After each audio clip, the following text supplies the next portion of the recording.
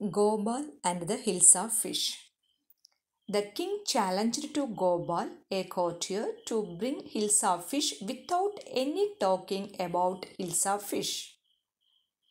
Gopal accepted the challenge and agreed to do so. He became half shaven, smeared ash on his face, wore torn clothes.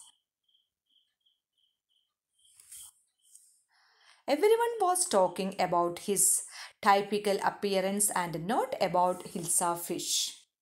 Gopal was stopped by the guards. He started singing and dancing. And at last he succeeded to bring Hilsa fish without being noticed. This is about the short summary of the lesson Gopal and the Hilsa fish. Thank you.